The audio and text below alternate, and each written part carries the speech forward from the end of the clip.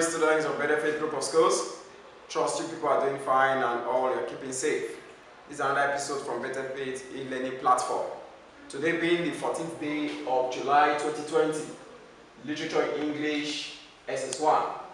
You know, last week we did look at uh, the element of poetry, where we looked at uh, the image and imaginary. We were able to run down through some of their, you know, items that has to do with uh, element of poetry. And I told you we'll be looking at uh, the, the aspect of rhyme and sound. We'll just discuss it very briefly before we consider today's uh, topic. When you say rhyme, what is a rhyme? A rhyme is a repeated, you know, a repeated sound that uh, you give, a repeated language of sounds that you get when writing a poetry. Okay? You know, many a times you begin to say, you love my rhyme, you know, because it is coming and going. The rise and the fall tone of a sound is known as what? Rhyme. Then the other one is the sound. What is a sound? In as much as poetry is to be read out loud or to be um, written and pronounced out loud, many a times it is also good for us to have clear sound in poetry. Let's say for example I have a poem that I want to recite. I'm not going to be reciting my poem using a voice that will not be audible. Okay? So sounds in poetry is what is sacrosanct when it comes to terms of poetry. It gives meaning to the poem, it gives sense to the poem, and it gives uh, pleasure to the reader. Then for today, we'll be looking at the classification of poetry. I've already drafted some certain things on the board. That poem are classified into the following categories. Are we together? The very first one we have here is the elegy. Okay, as a literature student, you need to be familiar with these words. Okay, so I'll just be discussing them as I've drafted it on the board. Elegy. It is a type of ly lyrical poem that expresses sadness for someone who has died. Okay, as a good poet, you should be able to know how to write from nonsense to sense. And you should be able to also know how to write from when one is happy to when one is sad. Are we together? So poetry is all encompassing. It's all encompassing. It is not pinned down to a particular aspect. I know students will be need to say, ah, why are you discussing things that has to do with the dead? No, it's not that we are discussing things that has to do with the dead, but it's another aspect of poetry that we need to know. Okay? Elegy. It is a type of lyrical poem that expresses sadness. A loved one dies and you want to express your grief. You want to express your sadness. Okay? That period of you, you know, jotting down something. Oh, how I wish it never happened. How I wish you never left this world. Okay? The last time I met you was, I never knew it's going to be the last time you say goodbye. Such a word is referred to as what? Elegy when it is written in a poem uh, uh, pattern. Okay? It expresses sadness, it expresses uh, uh, the feeling of grief. Okay? Mind you, every one of us is going to die someday, and every one of us must have, in one way or the other, lost a loved one. Okay? So, in as much as you want to express such a sadness, not everybody expresses their feelings through crying. Some expresses it through writing. Like me, if I want to express my feelings, I'd rather just pick a biro and a paper and start writing.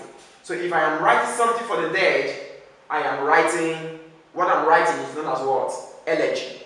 Okay? The number two here is dead. It is a song of lamentation. Okay? Song on the occasion of someone's death.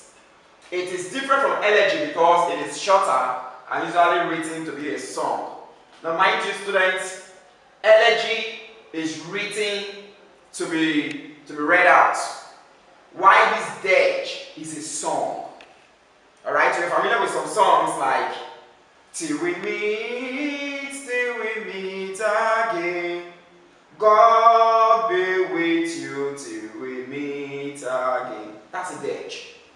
Are we together?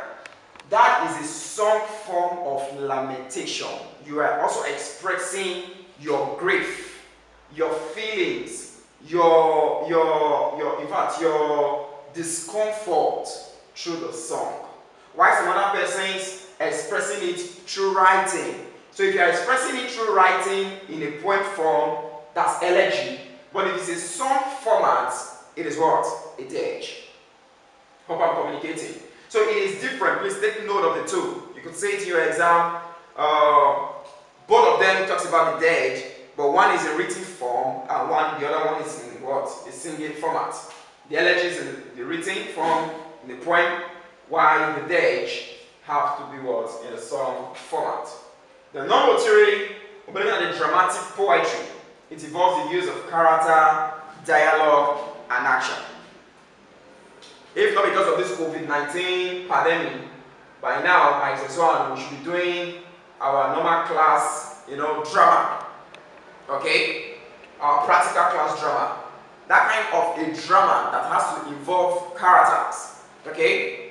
Somebody acting as the father, somebody acting as the mother, somebody acting as the child, somebody acting as the principal, somebody acting as the old man. They refer to as what? The characters. Okay? Then when this character comes together, what do they do? The dialogue. Okay? Call me Itoa. Itoa, ma, you know, she's running down. That process of calling her and that process of her responding to you is known as what? A dialogue. Okay? So in a dramatic poetry, if you're writing that kind of a poem, okay, what comes to your mind? What comes to the forefront of your mindset is very simple. The very first thing that comes to your mind is this. I am acting, I am, I mean, I'm, I'm writing in an acting scene. Okay? In that scene, I need the character, we need to dialogue, and you get the word action. Okay? Action. Action simply means get started. Hot means probably what you're acting is not in line what I've taught you. I will hurt you halfway. That's what it means. So that is another format of writing a poetry. I can write a poem in a, in a dramatic style. Okay? The number four, we have the ode. Okay? The ode. It is a long meditative. Take note. A long meditative and lyrical poem. Serious in subject, decorous in style, addressed to some person's object or an abstract noun within personified quality. So now this ode, what is it all about? I am writing a long poem. Okay? But when I'm writing the poem, it, it has to do with the poem that has bearing either to me as a subject or to some other persons. Okay? That uh, happens to be what? The abstract noun. Now the point is this. I have been hurted before now. Probably emotionally I have been unstable. Somebody broke my heart. In quotes, let me use that word. Now, I want to bring my expression into writing. I'll begin to write from how we started to what really happened that led to the collapse. Trust us, it's going to be a very long episode, isn't it? So while I'm writing it, I am pouring out my heart. I did told you before we started the other time that writing has to do with your creativity. You don't jump into writing. A very any good writer that you see today is a critical thinker. Okay? If you cannot think, you cannot make use of your cognitive analysis, there is no point in writing. Okay? Because your writings is a product of how you reason. Okay? Now they're telling us that Ode has to do with what? Long meditative and lyrical poem. It is long, as it is meditative, it is lyrical Okay, what is lyrics? I am trying to make sure, I told you that rhyme has to do with what? The rise and fall of a sound. Okay, a repeated uh, sound that gives meaning to what you're writing. So that's also what a lyrical poem is talking about.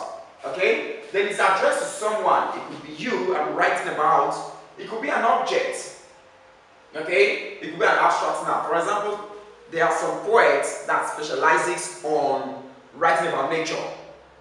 That's nature, it's an object. Oh, Mother Africa, why did you leave us in this country to suffer? Okay? That's what? An ode, a lyrical describe a dead person. Take note. I know when I see dead person, you say, I'll come again with the dead. Listen, the difference between elegy, dirge, and what? Epitaph. Okay? This epitaph, you must have seen it in the passage. When you go to the tomb, what is a tomb? The grave of anybody, any of your loved one. You see some persons who like to write inscription on the on, on the on, on the head of the tomb, okay, or the head of the grave. You buried the person, they had to build it out. On the head of the grave, you begin to see Pa James, 1915 to 2010. Okay? That is scripture. is known as what? Epitaph. And why did they decide to write that? They could still decide to write one or two, you know, words to, to, to describe a person. What a, you know, what an icon, okay? Or the icon has fallen. When you see such things on the grave, you know that your uncle does not really mean that we have exhausted the classification of poetry.